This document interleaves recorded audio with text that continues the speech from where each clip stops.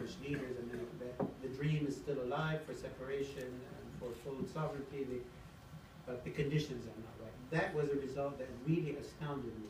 Having lived and worked there and followed it, how do you explain that? Yeah, wasn't that very interesting? Um, you know, when I was working in Kurdistan, I was working in, as an advisor to the Ministry of Planning, which is an incredibly technical ministry. They, um, they run the investment and construction budget for, um, for the KRG.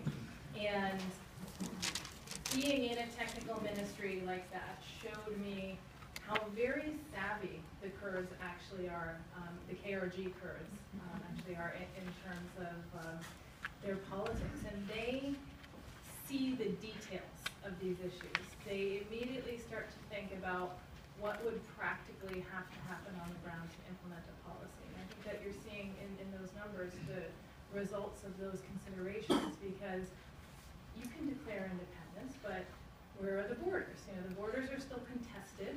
Um, they still, you know, when everything works as it should, and not saying that it- it's working as it should right now, but there's a constitutional benefit and a budgetary benefit from being a part of Iraq when it works as it's supposed to.